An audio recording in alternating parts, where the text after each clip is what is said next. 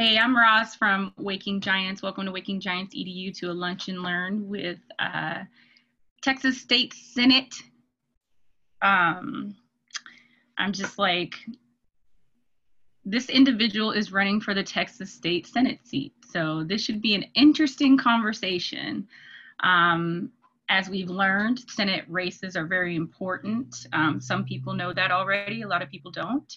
But uh, we're gonna have a nice little conversation. We will reserve the last 10 minutes for Q&A from um, the individuals decided to come here, but let me take care of some housekeeping rules really quick. I'm the host moderator. I see all, but I'm not like a bad Sauron from Lord of the Rings. I'm like a good one. So just to let you know, um, I have executive functions like mute, remove, all kinds of things. Do us a huge favor and let's uh, keep the integrity of this conversation really clear audio wise. So if you could, make sure your mics are mute. Um, they should be already muted, but um, we will open it up at the end for Q&A. Um, just a little information about Waking Giants. Waking Giants is a social impact company. We provide um, businesses and, excuse me, groups with the tools they need to fight the good fight.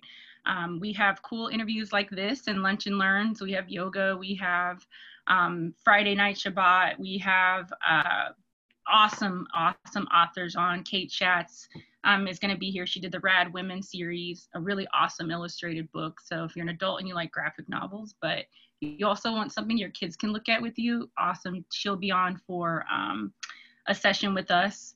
But um, without further ado, we're going to get into the goodness. Um, if you're not familiar with this individual, this individual has been a champion in our area um, behind things like bail bonds and health equity and uh, city planning, all kinds of good things like that that are very, very important was a judge here in Travis County for a while um, and actually swore in one of uh, the first black judges in the area and um, just overall someone who's trying to have conversations with real citizens and do things to make sure real citizens get to have good lives so um, this is i can't call her judge anymore because she's not a judge so this is sarah Citizen. how are you doing today i'm really really good how are y'all doing i think everybody is good um, sorry, one more thing. Chat function's great. Please, if you guys have any questions, you can chat me. Um, Waking Giants host me. You can send me a direct chat. Um, try not to send Sarah a chat because um, she might not be able to pay attention to um, her chat box while we're chit chatting. So, how are you doing? I'm good. I'm good. I'm good. Good. Uh, despite some uh, pretty startling numbers across the state with COVID 19 and uh, some difficulty in getting the governor to, to recognize the, the, um, the trajectory that we're on, um, I'm otherwise good. But we've got a lot of work to do. we're coming out of the gate today, y'all.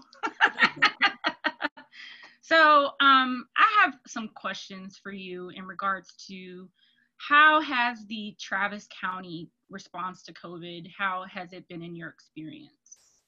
We have a really, really good partnership here. I mean, it's not perfect. We certainly have our uh, our arguments, uh, but people uh, locally, and I find this across the state in all of the major metro areas, that the the local leaders, both in the public and private sector, are really rowing in the same direction. Um, we are recognizing the facts on the ground and planning and preparing for the probabilities. Uh, and I feel good about that. Um, uh, just this morning, I was shooting off an email to the three uh, hospital network uh, uh, chief executives on hospital capacity locally. Uh, and trading text messages with Mayor Adler on next steps with regard to mutual aid on personnel. Sorry, this is my cat. Cornbread, say hello to everybody. Cameo if you're not used to the Zoom cameo, I don't know if you should be yeah. here today. yeah, cameo. Um, so I, I do feel really confident that we have what it takes to uh, come together and in collaboration make some very difficult decisions uh, and plan for uh, um, what is bleak uh, in the near term, but could be a real opportunity for, uh, for systemic change in the long term. I'm not so confident that the state government is prepared to uh, make those sorts of decisions. And that's hmm. uh, the reason why I am running for state senate. Okay. Okay. Okay. So you have you have a model you feel that could really impact on the long t- on the big scale, but there's some difficulty in communication. Okay. Well, in in in that, I think you know the public also sees that um, in which what to abide by, what to listen to. You know, mm-hmm. what personal measures have you and your family taken in regard to COVID? Sure, there's a lot of confusion out there about what is truly effective at reducing infection rate, and we can do this. Um, this isn't rocket science, and it's not complex, but uh, we have received some confusing and conflicting messages uh, at the top, uh, both at the federal and the state level. But it is uh, it is simple. Uh, it does take commitment, but it is simple to and it sounds like golly this is what my grandmother used to say but it's it's that simple. You wash your hands. You maintain six foot social distance. Uh, you wear a mask when you are not with your household members. And you don't gather in groups of people uh, for purposes that are not essential um, and if you're sick you stay home until you're better uh, it's it's really that simple. It's the same thing that your mother and your grandmother have told you uh, every flu se- season since uh, you know since since the beginning, um, and we're not following those things. Um, wash your hands, six foot social distance, wear the masks. Uh, actually, I've got mine right here. I've ripped up every old t-shirt of mine except for my favorite concert t-shirts to make a, a mask in every color in the rainbow to go with every outfit. um, and then also not to gather uh, in groups for non-essential purposes. That's the really hard part because we are social animals. So I'm the mother of two teenagers. Uh, at the beginning of this pandemic, I said, you're gonna have to choose your COVID buddies. Uh, and don't go hanging out with people beyond your COVID buddies so that I know that I have and we have a relationship with their households. And if anybody gets sick, uh, uh, we will share the information and we will share the responsibility of keeping each other well. Um, so my kids chose their COVID buddies. And then uh, George Floyd was murdered. And my daughter came to me and said, I can't stick with my COVID buddies. I have to go, um, I have to go protest. So we had some difficult conversations around that uh, about what we would do in order to keep uh, our household safe. Uh, and uh, we all agreed that it was important for her to participate in those protests. And so she did. Um, and I'm very, very proud of her for that. Uh, and that was a risk uh, that the entire household was willing to take because it's that important. And I think the same for voting um, for those of us who are uh, unable to uh, qualify for the extremely and ridiculously narrow uh, uh provisions for a uh, mail-in ballot, it is uh, important enough to go in person and vote. And I'm really grateful for our election administrator here and election administrators all across the state of Texas for making it as, as safe as we possibly can. Um, so um, we, we need to consider our risks and consider on an individual basis what is essential. And certainly uh, protesting police brutality and exercising your right to vote are essential. So that's the, the uh, uh, guidance I've been giving to my, giving to my community as an elected leader and also the guidance I've been giving to my own children as a household leader. Okay, okay.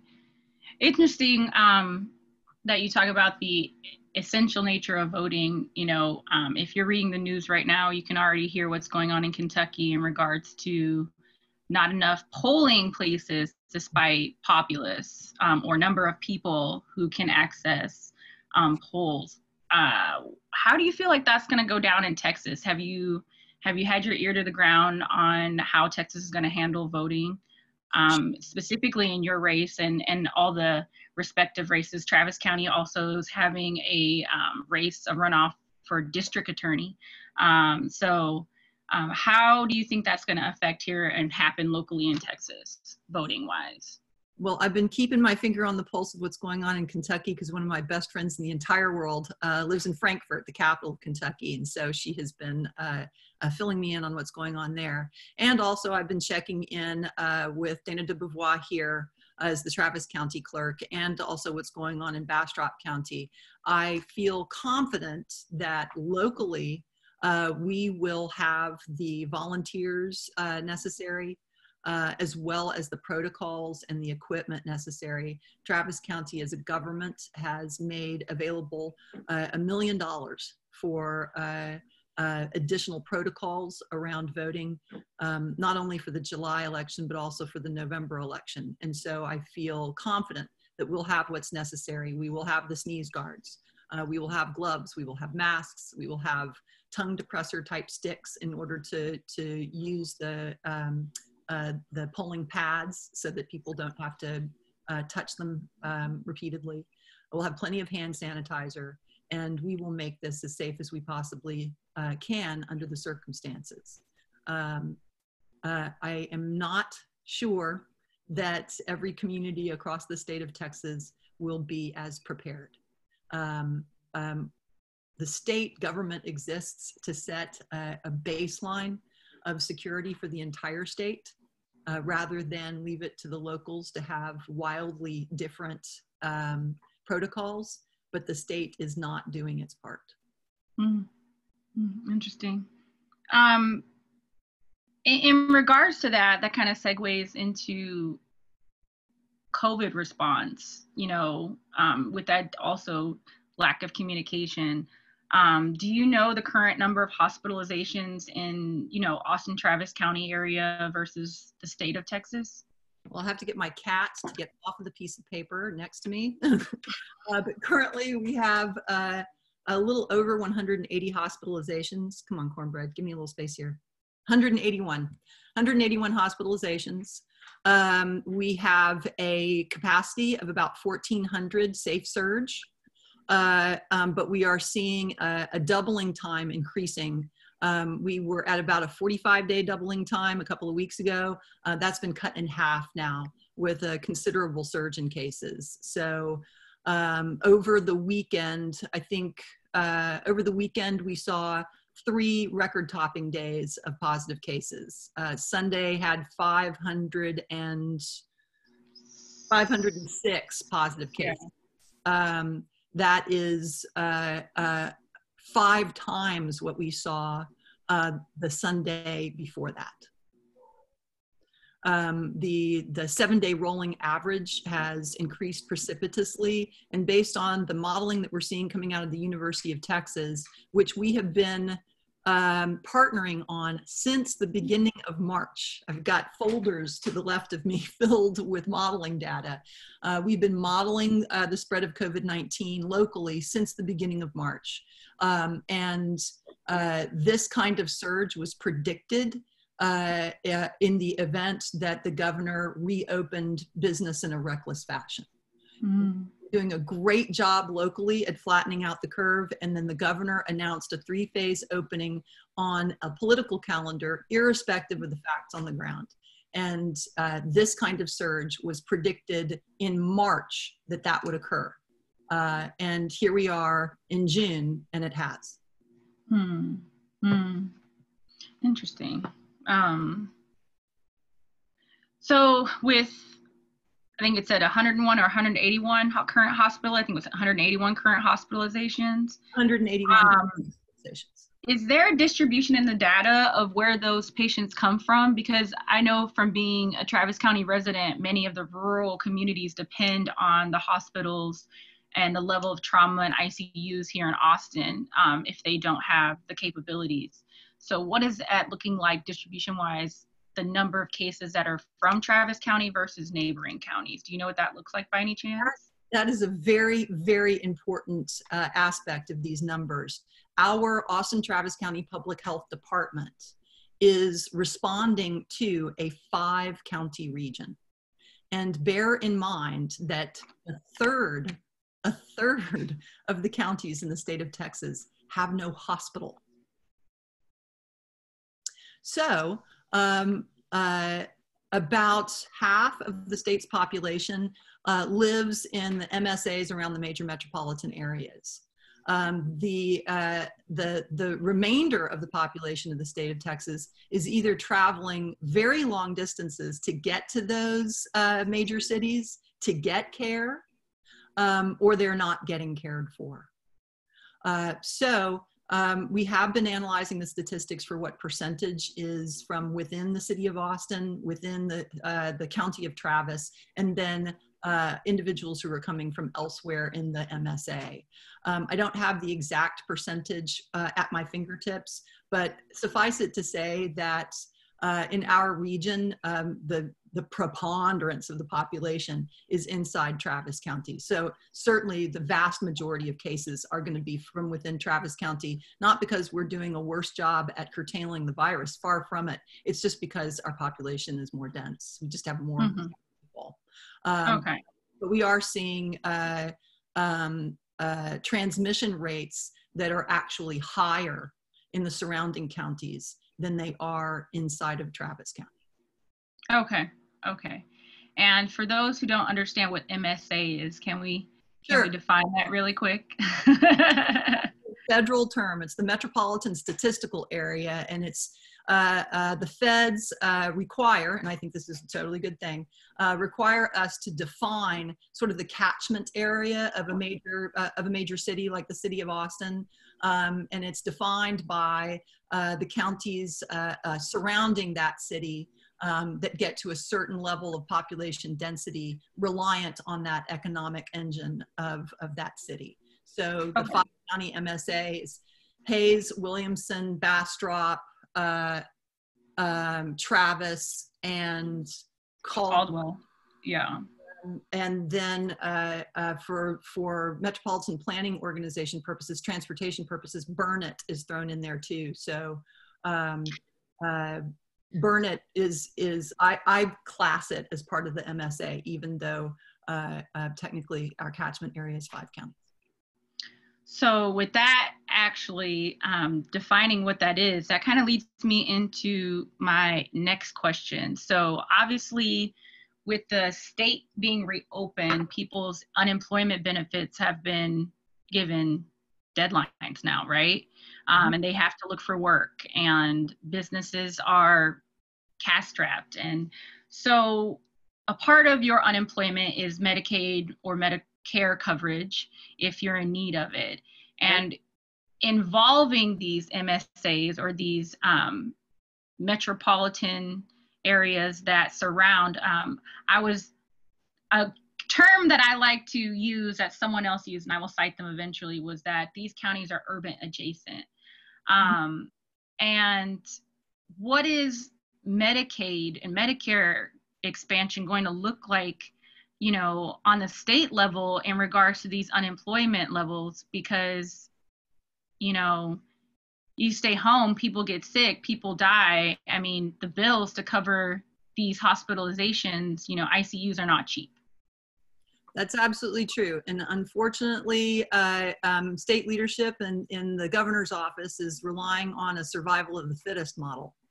Uh, um, we know from before COVID 19 that the state of Texas was dead last in terms of uh, uh, insured uh, Texans. Mm-hmm. absolutely last uh, because we are over reliant on employer provided uh, insurance policies. So now, with considerable unemployment driven by COVID 19, you've got a twin disaster, both a health and an economic disaster of people who are both unemployed and have lost their health insurance. And they're in uh, stuck between this vice of uh, uh, the uh, subsidized insurance on, on market and uh, Medicaid insurance, for which we only provide for the absolute poorest of the poor. Right. Uh, so there are people who are falling in that gap, uh, who have lost their jobs and are looking, um, but do not have insurance. So it is it is in all probability our uninsured rate has skyrocketed above 30% uh, currently, that, right at a time when we most need healthcare coverage. Right. So, uh, what we need to do Uh, what has happened, which is good, uh, the requirements for uh, reestablishing eligibility under CHIP, which is the Children's Health Insurance Program, uh, has been uh, a moratorium has placed been placed on having to requalify. The fact that you have to requalify uh, um, at all is ridiculous. So I'm glad a moratorium has been placed on it, and that should should be made permanent. but also, we need to pull down Medicaid. Um, we already pay for it in our federal uh, taxes, and foregoing it is is is literally killing us. Um, we need to pull down Medicaid so that we can uh, insure folks uh, who are desperately in need of insurance. If people have insurance, uh, and their families have insurance, they'll be able to work better, have a better peace of mind, and be better able uh, to take care of their families, their communities, uh, and to participate fully in our economy as it comes back up. You cannot be pro business without being pro worker, and you can't be pro worker without making sure that folks have health insurance. So um, I would say uh, uh get rid of the red tape on CHIP and on SNAP.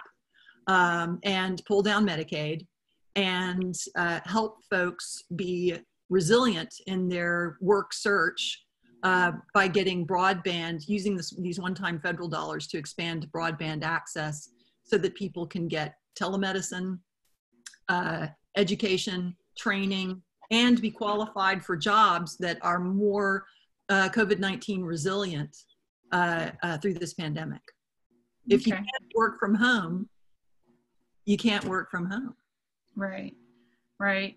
I mean, oh gosh, I could like ask you so many questions around that response alone, but um in I mean, it's it's just very ironic how the survival of the fittest, how you use that term, you know, that's a, a term that scientists use to talk about, you know, the perpetuation or the continuation of the species. Only the best of the best of the best or the healthiest of the healthiest move on.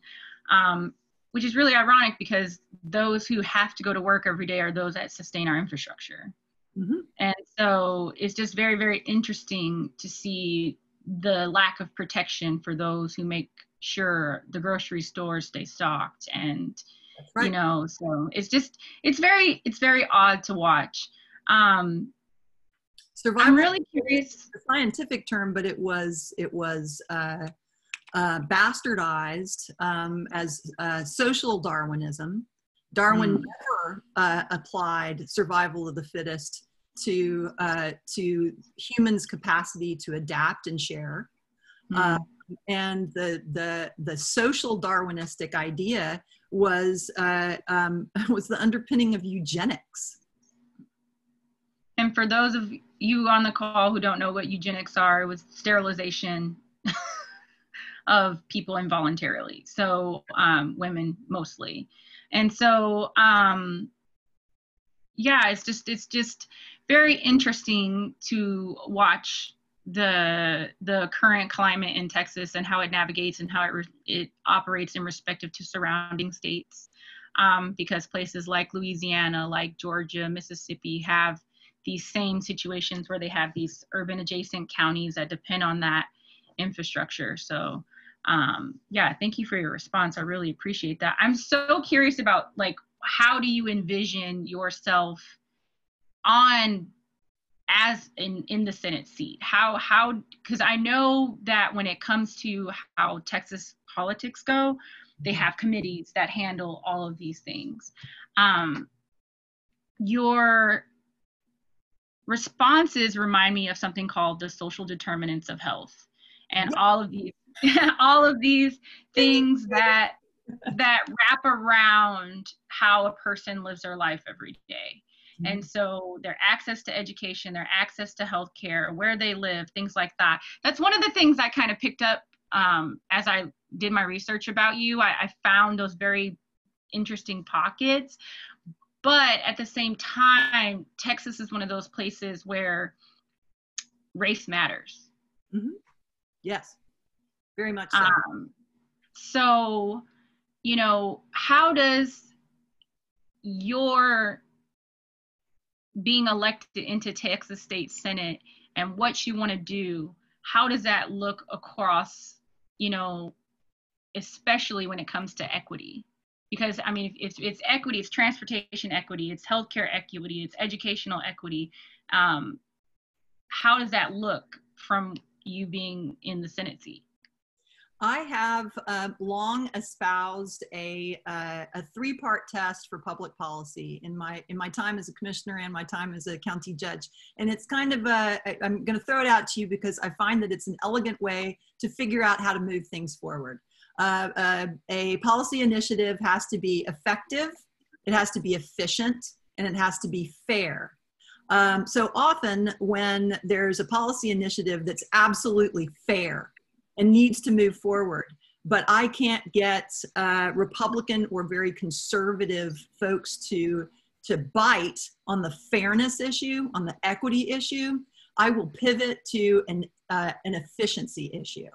Look, if we don't uh, provide health care for uh, our, uh, our working families, um, they will end up um, uh, forestalling their care until uh, it's far more expensive uh, and take it to an emergency room and thereby be unable to provide for their families. And then their families will have to uh, uh, access some other type of assistance. So it is inefficient uh, for us not to provide health care now of course i think the people on this call will say well it's unfair not to provide health care well sometimes the fairness argument and the equity argument doesn't win the day with some of those folks in the pink dome. So um, I'll make uh, an effectiveness and, a, and an efficiency argument. Um, it's not effective uh, because people can't show up for work and uh, business need, need labor. Uh, and it's not efficient because when folks do wait to go to the hospital until uh, their illness is much further on and the care is far more expensive, um, we end up paying more. If you're concerned about your local property taxes, you ought to be concerned about people not having health insurance because who picks up the tab for uncompensated care at the local level? We do in property taxes. So, but that's such that's a whole like that conversation about property taxes local property taxes dropping into that pool of of healthcare because austin it's the drama of that is so real. The drama of that is very, very real. And it's actually the property taxes are coming out of the hospital district known as Central Health. Um, so the city and the county spun off our uh, uh, responsibilities for a public hospital into a hospital district. So it's your hospital district taxes, which are property taxes, um, that are picking up the dime for a clinic system that provides uh, um, uh, general health care to people who are low income. And it's a good clinic system. It's very, very good. Uh, but uh, again, if I have to pivot to an effectiveness and an efficiency argument, uh, that's the argument. If we don't provide health care to people, um, then you will be paying for health care on your property taxes locally.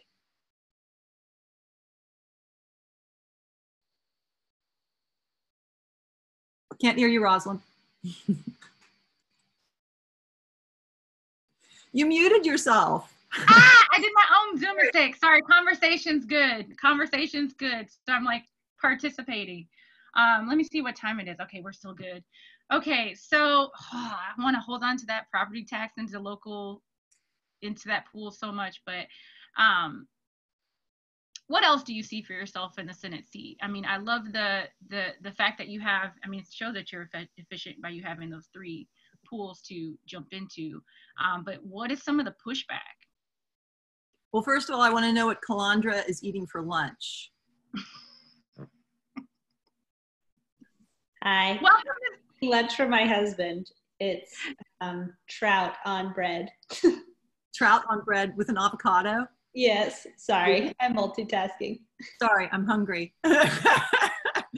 um, what else do I see for my uh, for uh, um, work in the Senate? Well, um, we need an economic recovery from COVID 19, and I think it's important for us to. And I know that this is a super unsexy topic, but this is a topic that is uh, very important to me and for which I have deep, deep uh, uh, study and understanding. We have to look at how we do, uh, how and who pays taxes in the state of Texas.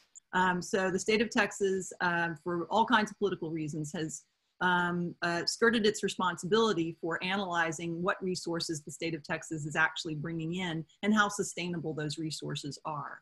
Um, so oil and gas revenues are volatile and they're down. Sales tax revenues are extremely susceptible to economic downturn right when you need to be leaning in and providing services. And so sales taxes are down as well.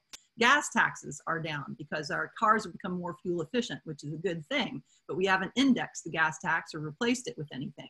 Uh, there was an attempt to augment it with toll taxation, uh, but that hit a brick wall and it's been tossed out as well.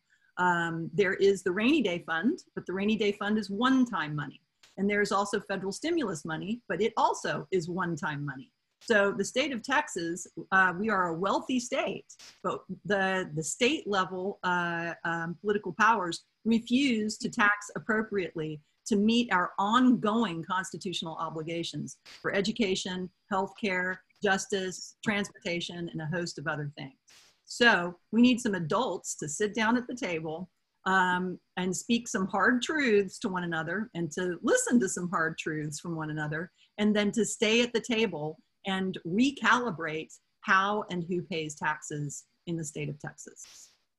Um, that won't happen overnight and it won't happen in one legislative session, um, but by sustained attention um, and continuing to work those, uh, those relationships inside the Pink Dome and also in the community at large, I think that we will get there because we have to.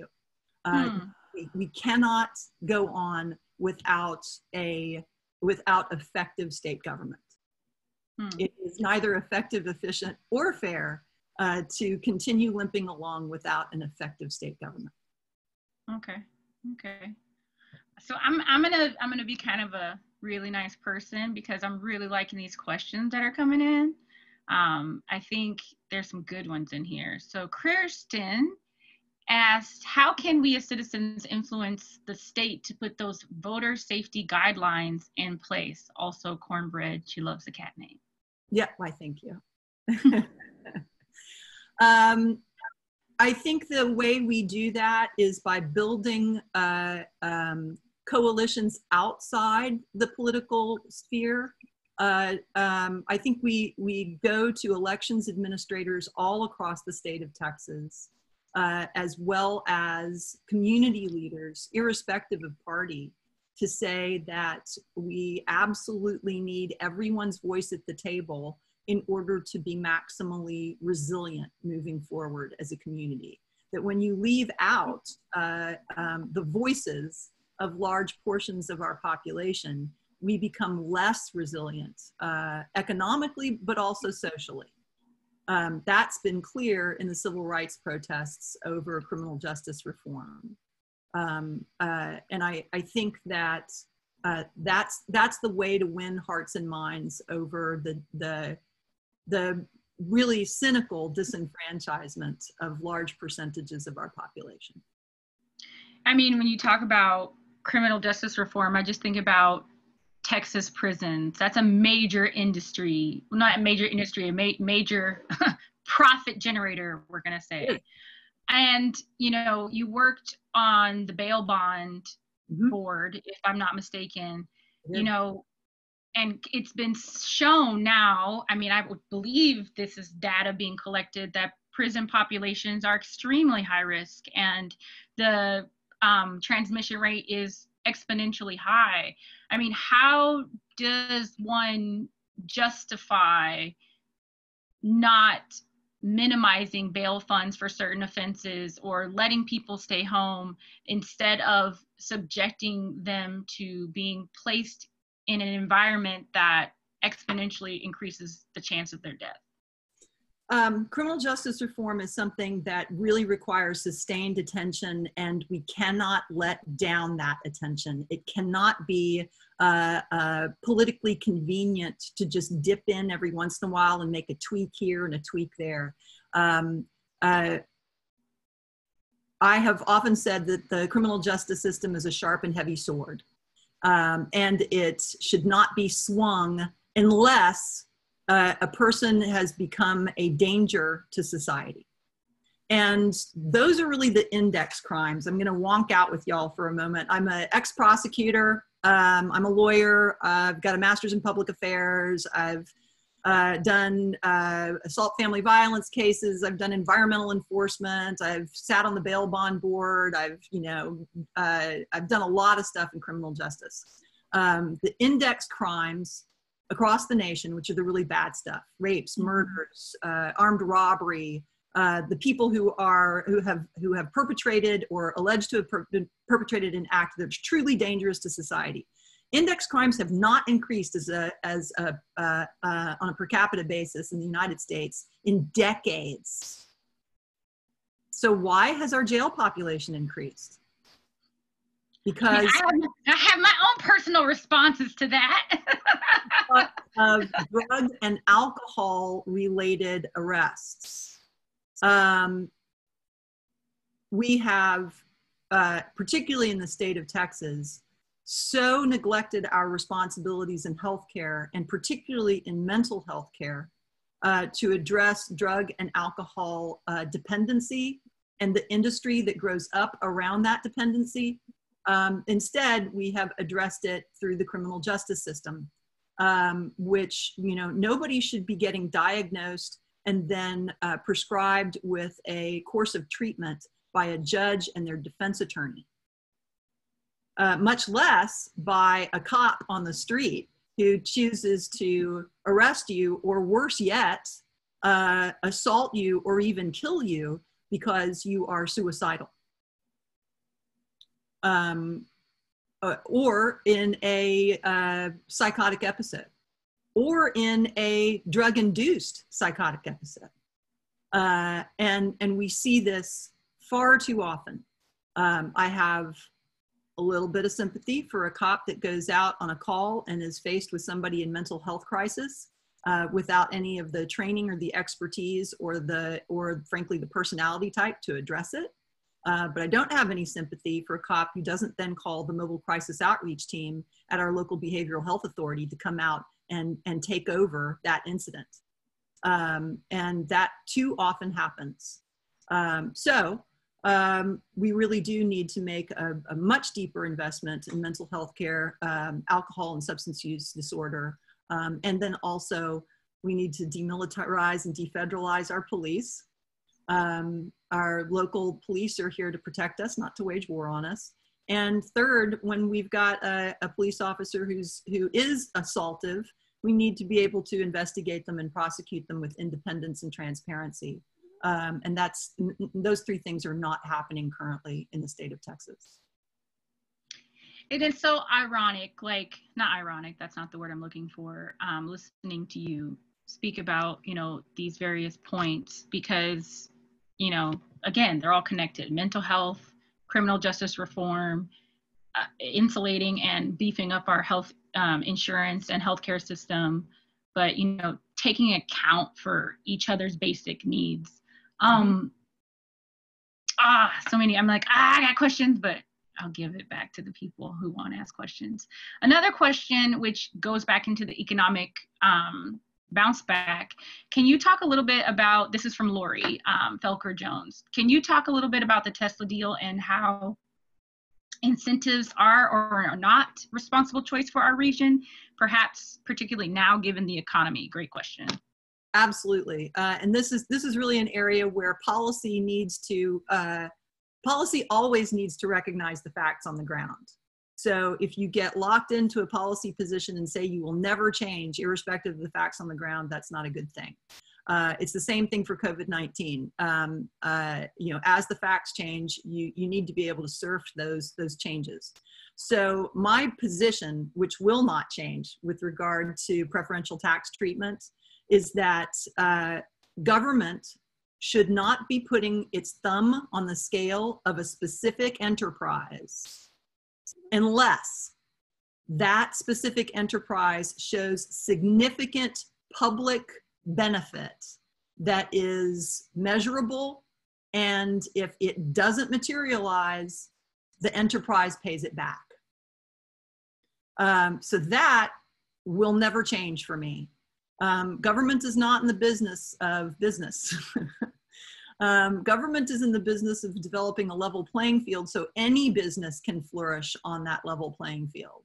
So the best incentive for business is to provide quality health care, quality public education, good transportation infrastructure to move goods, services, people, and information around the state, uh, clean air, clean water, uh, um, and those kinds of public pool resources um, that would make any business thrive here and any person operating in or owning a business thrive. That's the best government incentive for business. Now, in a major economic downturn, um, and also when we see major, major disparities in opportunity, I have told the chambers of commerce that if they find a, a, a large employer who will employ local residents in low skill and mid skill jobs that have career trajectory and will locate in a low opportunity area and will guarantee results, particularly in uh, green industrial technologies or some other uh, uh, policy preferred industry um, that I would consider uh, preferential tax treatment for a limited duration to prove up the model. Um, Tesla may be that.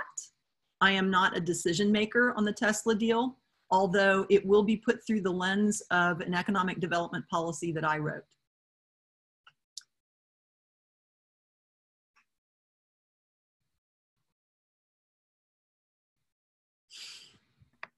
Sorry, this is a good conversation. I listen. I really like to listen. So, um, guys, sometimes it's hard to have a good conversation and moderate at the same time. And I'm also watching you guys in the chat. Um, so it's interesting, you know, Lori asked that question about Tesla because if you don't know, here in Texas, there's been a very contested relationship between tex- Texas and Tesla. So, um, given COVID, I'm really curious also on how that's going to develop um, in regards. But I really do like that approach um, in regards to green industries. I'm just curious because there's previous history in regards to Tesla, how that's going to play out. Well, that's the thing. Elon Musk does not have a good relate a, a good reputation with regard to um, uh, labor, and and we have to recognize that. You can uh, negotiate a contract, a good tight contract, as long as you enforce that contract that has clawbacks in case uh, um, Tesla doesn't perform. And so I am not in those negotiations, but like I said, the policy that I helped write uh, uh, does um, anticipate that there would be a contract with deliverables and there would be no abatement or rebate of taxes unless and until the, the entity performed, uh, did produce the jobs, uh, and that those jobs were full time, and that there wasn't high turnover, and uh, that the benefits were there, and uh, that the green technology did uh, did materialize. I'll give you an example. I don't think I voted for a single preferential tax treatment deal as a Travis County commissioner or a Travis County judge, with the exception of two solar fields. And in both instances, the solar fields had to produce a certain amount of energy to go onto the ERCOT grid before they got any benefit. Hmm. Uh, and I think that those are good, tight deals. Hmm. Yeah, that's one of the things I it's so weird. It's one of the things I love about Texas, but one of the things I've never understood Texas to tap into, which is solar and wind energy. Um, you know, driving through from I-10 from El Paso to Austin, you know, one of my favorite, you know, Ozona, Sonora, all that area where you see all the wind farms, and then also up towards um, Fairfield and East Texas. You know, it's it's one of those things that makes sense, but we don't understand why. I mean, there's there's an understanding why, but it's not, you know, an anecdotal thing. Um, the largest wind energy in the nation. And it's just so odd that it's, we don't upscale it, you know? We you know and that's another uh, issue there the the um, uh, the 313 and 314 provisions for tax abatements for wind and solar and all energy uh, supports actually are up for sunset this legislative session. Um, and that's something that absolutely has to be looked at because we need to see um, what industries need incentivizing and which ones don't. Um, and i would submit to you that um, fossil fuel uh, um, resources do not need incentivizing um, but uh, solar and wind most definitely do. So uh, that's something to be uh, very vigilant of in the next legislative session. Okay. Okay. Well, let's see what time we got time for another question. Good. You, this is from Sean.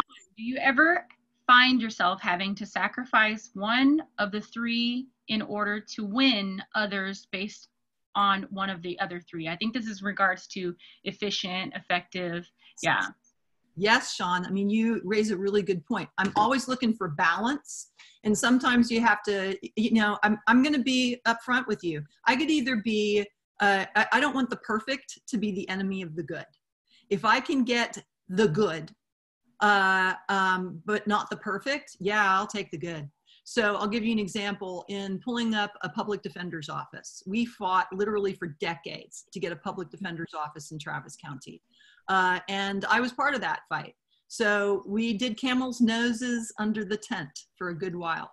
First, we brought in a mental health public defender's office, and it was small and didn't really pull enough cases. It made uh, some difference, and I'm very proud of that difference. Then we brought in a capital area private defender service that that helped um, uh, raise the uh, the quality of private defense attorneys in the criminal space, and that did help some, uh, um, but it, it still was not enough. And then finally, we uh, i saw a break in the wall and along with a bunch of other people who'd been working on this for a really long time we we rushed through that hole uh, of opportunity and pulled up an adult public defender's office. And will it have the capacity to represent all of the defense uh, um, needs in the state i mean in the county? No uh, initially, it will only have the capacity to do maybe 10% of the cases. And even in its ultimate uh, um, form as currently planned for, it will only be able to represent 30% of the defendants in the criminal case cases. So yes, for um, efficiency reasons, uh, I, I could not win the day with a public defender's office large enough to represent all of the defense needs. Um, so I took 30% as a win. Uh, that was a balance between budget. Uh, um, that, that was definitely a balance between effective, efficient, and fair. It was certainly uh, effective, efficient, and fair for those who will get that representation. And we will have to balance that against those who get uh, private defense uh, um, assignment and make sure that those private defenders are as good uh, um, or take them off the wheel for appointment. So is it perfect? No. Uh, but it is certainly more effective, efficient, and fair than what we had before. Okay. It's just I hear that, but then I also hear, you know, private defender, cost of a private defender, cost of mental health if this is involving some complex mental health, no insurance. Like, I'm, you know, just that's what's I'm, I'm, I'm, there's a lot here. Well, um, bring it on home. uh, 90% of that criminal defense cost for indigents is on your property taxes, your local property taxes. 90%.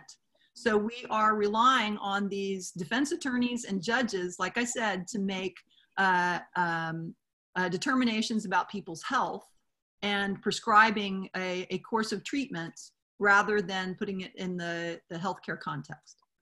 Which is odd because in Travis County, over or in Austin, sorry, let me make sure I quote this correctly, over 40% of my property taxes go to police.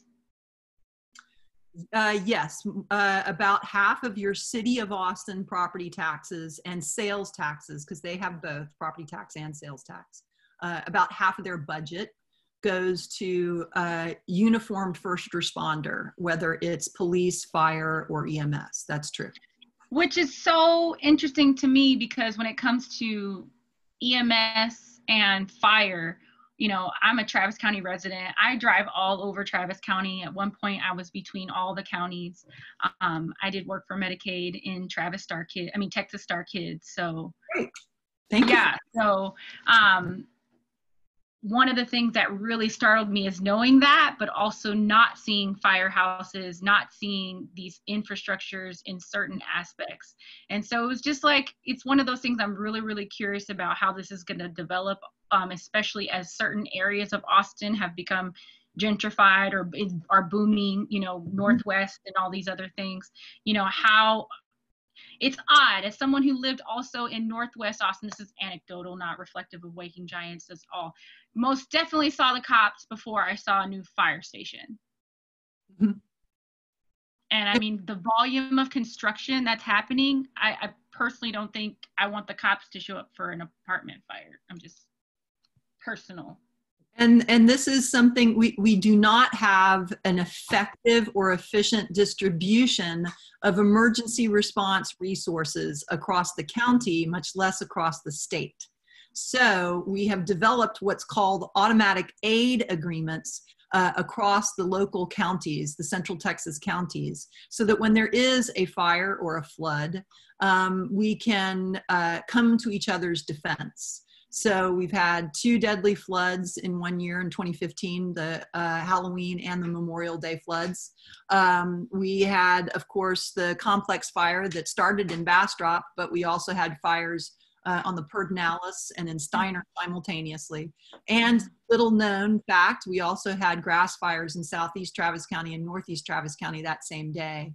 Uh, so uh, we, we do not distribute our first responder resources well, and then you get, um, you know, uh, sort of a lumpiness. Um, um, I have I have joked before, and it's it's probably not the funniest joke in the world, that if somebody has a um, uh, if somebody has a heart attack uh, at Lamar and 10th Street, you will get two cop cars, a fire truck, and a box ambulance within three minutes. Uh, that's a lot of equipment personnel. Um, that's a lot. um, but if you live in Del Valle, um, you'll be waiting probably 11 to 14 minutes um, before uh, um, a paramedic can show up part of that is is distance terrain. Um, but part of that is just that we are not distributing our resources uh, equitably. Mm-hmm. um, i have an, another question from uh, lori. What do you need most right now to help put you in the senate seat what I need most right now is a groundswell of people in Bastrop and Travis County to get uh, out to all their friends and say, this race is important. And we need somebody who looks at big picture solutions and will work tirelessly 365 days of the year to achieve those solutions for us. It's not enough to just gather every other year in the Texas legislature to, to argue um, and look good doing it. Um, we're going to have to look for overarching systemic solutions and then build the coalitions to take into the capitol with us rather than expect that the, the, the alliances that already exist in that building uh, will, will carry us to the next shore. Yeah, yeah. That's one of the things I learned um, when I toured the Capitol building, that was very interesting to me is I learned the length of relationships that certain people have on committees and things like that. And I know, you know, Texas is known for being a huge lobby state, the power of the lobby, but, you know, even more so, the power of a relationship can really prevent things from moving. Um, okay. Let me push back on that because I think that I think that this is a boogeyman. I think that the lobby is a boogeyman. Hmm, uh, really? We uh, um, one of my opponents has uh, half a million dollars from the lobby. Uh, the, the, the I grew up in politics, so this is probably you know not a great admission for me to make in a campaign. But I grew up in politics, and uh, the lobby is scared. They're very hmm. risk averse. They like hmm. to go known quantity, and that's the reason why one of my opponents has so much money because he's a known hmm. quantity. He's definitely in the legislature no matter what. Um, but they are they are uh, as a as a class they are afraid, and they mm. always been that way. If you give them a reason to not be afraid, uh, and you give them cover, if you if you lead them to a better way um, that puts them in a better position, puts their client uh, in a better position for the future. Um, the lobby we're all human beings are pack animals. We're we're like cornbread or really more like his his dog friend buddy. We're, we're pack animals.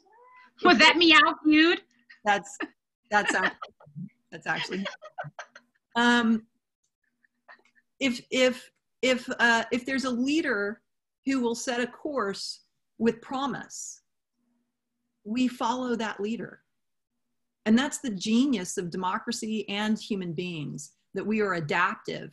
When we are given a narrative and, and a future that looks better than the one that we have, we move toward it.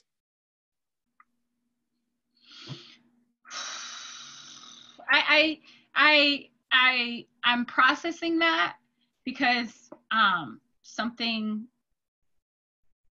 that would make sense is is telling someone who owns, you know, large amounts of property to install solar, you know, or section out a portion of their acreage for solar energy, things like that. I mean, I personally can think of a lot of things, but um, one of the things of being a resident of Texas has shown me is is it's very interesting and it the type of grit and tenacity that you need to have in order to cause change has to be long-standing. Exactly, Rosalind. That's exactly yeah. it's tenacity. So I'll give you an example of getting uh, uh, corporate entities and large businesses to move to solar. Um, hold on, hold on, quick. Let me check the time. Sorry. Sure. Oh, can we go over just a little bit? Just a little bit? Like five minutes? Can we steal you for five more minutes? If y'all are good. Okay, cool. Thanks, guys. Sorry, five more minutes, and then we'll wrap it up. Sorry, I just realized I was like, ah one of the reasons why businesses don't convert to solar is because uh, the the upfront cost is significant and if they sell that property uh, before they recover that upfront cost it's sunk cost so it's it's just pure economics so um, there was a good piece of legislation at the state called the PACE program that was instituted. Uh, and Travis County was the very first one to adopt it. And all we needed to do was uh, work with businesses and say, you know what? We will, uh, you can take a loan from a private bank and put the assessment on your property that runs with the property. So even if you sell it, the future owner is paying the assessment for the upgrade to solar or gray water capture, recapture or what have you. So that the improvement, the, the benefit of the improvement and the cost of the improvement runs with the land. This is, you know, this isn't rocket science. You find what the challenge is for them and you overcome it with them. So it enhances the value of their property. They get more money if they sell it, and they save more money if they keep it. Win win. So we should expand the PACE program. yes, but it's also you know i'm, I'm interested you know tenacity is, is that thing is is when oil and gas have been legacies and families it's really hard to have that conversation to change a legacy just like ranching just like a lot of the i guess you call stereotypical texas institutions that we have here um, you know that conversation is is most definitely very difficult but it also reminds me of the conversation that you talked about you had with your daughter of whether or not you want to protest you know yeah. um it's it's about fundamental change. And you have to have those hard conversations to have fundamental change you know? And so yeah tenacity and grit is one of those things that it's interesting like for you to be you obviously hit all the the experiential qualifications of a senate candidate but you know that those two things are are really really interesting to have in a candidate because you know texas is tough you know, and, and tough in a way that isn't always good for it. That's true. I mean, you talk about tenacity and grit, and those are two words that seem synonymous with the Texas mystique. I'm a sixth generation Texan. Um, the, the necklace around my neck is the cattle brand from my family's, you know, from the cows my, my family took in exchange for, you know, bolts of fabric at Indianola before it got blown away by a hurricane. Um, uh, uh, yeah, you know, uh, all of us are afraid of change. Um, but as a mentor of mine once said, you don't quit a bad habit, you replace it with a better one.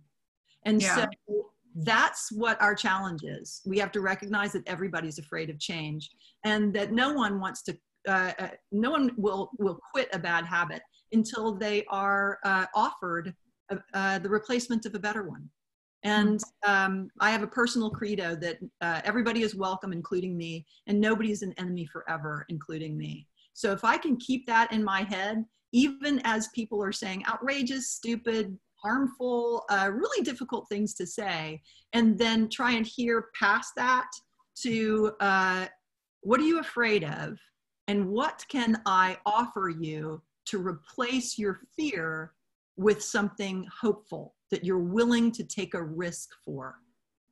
Um, I think we'll all be better if we can continually continually ask that. Hmm. Hmm. Okay. Whoa. That's well, guys, we did it. I'm like, I'm like, I want to keep talking, but we only had an hour, and that's fair. So um, but I want to help out. I've got a website, saraheckhardt.com. Just go on that website. I've also got a Facebook. So if you just go to Sarah Eckhardt Austin, it'll pop up. Um, love to have your support. Um, this is going to be an interesting race. Uh, I, I would love to win it without a runoff because Senate District 14 needs representation now. Um, uh, so help me out on this. I would love to to uh, represent you in the in the in the Senate and in the Pink Dome. Be super. yeah, that'd be awesome. I just kept having to define for anyone who wasn't here what the pink dome was. I've used that term outside of Austin. They're like, what are you talking about? And I'm like, oh, never mind. Sorry. The Capitol building. Forgive me. Forgive me. Um, but yeah, thank you so much. I really appreciated the time and the hour. Um, really excited to see what you're going to do in the future. And hey, guys, come back to Waking Giants. We do good things. Hey, side note, we have Delia Garza, who's also running for county attorney in Travis. She's going to be on on Friday at noon Central Standard Time. And then um, hopefully um, we'll get a confirmation to have Jose Garza, who's running for um, district attorney here in Travis County. So come back, hang out with us, check out our book club, um, check out our website, wakinggiants.me. But most importantly, vet and read about your election candidates. This is one of them, um, Sarah Eckhardt. Please contribute to her campaign and take care of yourselves, guys. Thanks. Bye. Nice Thank you so much.